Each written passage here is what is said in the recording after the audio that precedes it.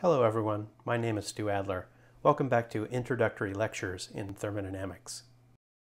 I need to take a break from our regular scheduled programming to bring you this special how-to video on how to make an exam privacy screen. Due to our open classroom, you are required to use one of these for our upcoming exam and all subsequent exams this quarter. I've tried to keep this as simple and inexpensive as possible, so this does not consume too much of your valuable time and resources. Here are the materials you'll need for this build. You'll need three standard manila folders, some tape, probably about three to four feet in total length, and some decorations of your choice. Ordinary scotch tape is fine for this build. But if you want to go for maximum durability and polish, I can recommend 3M packing and storage tape. I do not recommend masking tape or duct tape. Masking tape will just fall apart, and duct tape will stick to stuff in your backpack and make a mess. Okay, so here's the build.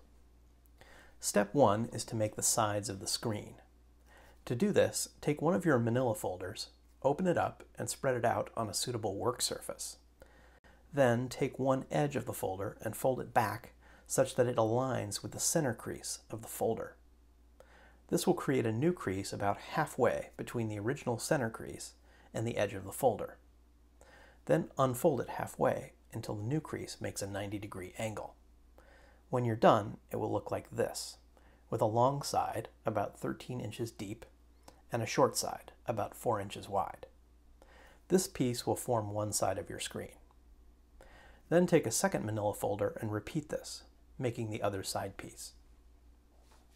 Step 2 is to attach the back of the screen.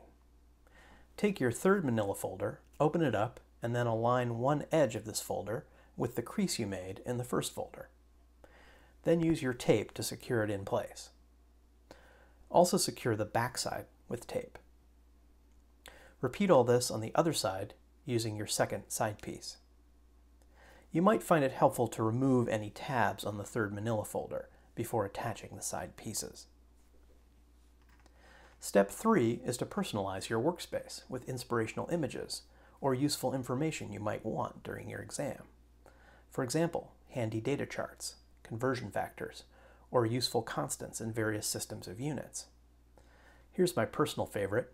Did you know that R is 7.815 millifurlong squared slugs per Rankine mole.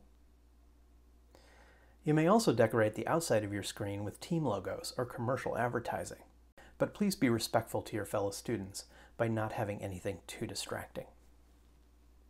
Finally, when you're done, fold the two sides together, and then fold the entire assembly along the original center crease of the back folder. In this configuration, the whole assembly is the size of one folder, so you can carry it to class in your backpack. When you get to the exam, just unfurl it and you're ready to go. Remember that you will not be allowed to use any internet connectable devices on your exam, so please bring physical copies of your book and any course materials you want to bring, and a standalone hand calculator. I also recommend bringing a ruler for phase diagrams, two pencils in case one fails, and a bottle of water. When you're done with your exam, please keep your privacy screen for the subsequent exams. And good luck.